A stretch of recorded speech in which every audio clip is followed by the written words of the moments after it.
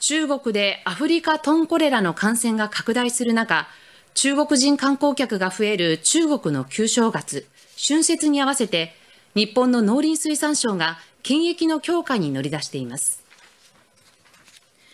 アフリカトンコレラは感染した豚のほとんどが死ぬ病気です。去年10月からの3ヶ月余りで中国の観光客が日本に持ち込もうとしたソーセージなどからのウイルスの検出は7例あります。